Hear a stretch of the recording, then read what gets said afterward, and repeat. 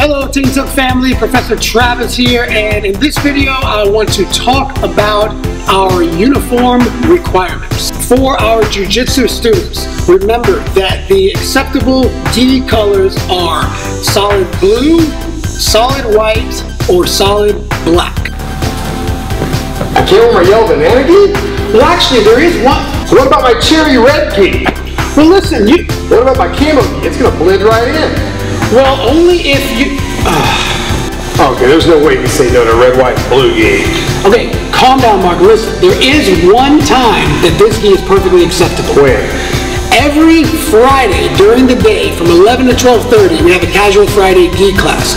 That is a perfectly acceptable time to wear whatever crazy gi you want, as long as it's not too offensive. Also, if you want to come in the evening time, although we have a no-gi class going on, we do have open mat. So that would also be a time you could come and wear this amazing piece of artwork. Plus, Mark, it wouldn't be fair because, let's be honest, nobody can pull this off but you.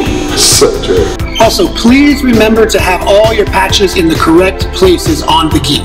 That means the Hibero patch will be on the left side of the chest, the Team Tooke patch will be on the right side. These are the two smaller patches. And on the back side, we'll have the Hibero patch on the top with the Team Tooke patch on the bottom. The Hibero patch should be about three inches from the top collar, and the Team Tooke patch should be separated from the Hibero patch by about one to two inches. Also, with the addition of our new Nogi classes, please be sure to wear both the Team Tooke rash guard and the Team Tooke shorts. Now, many of you may have different combinations of rash guard and shorts from previous orders that we've done in the past.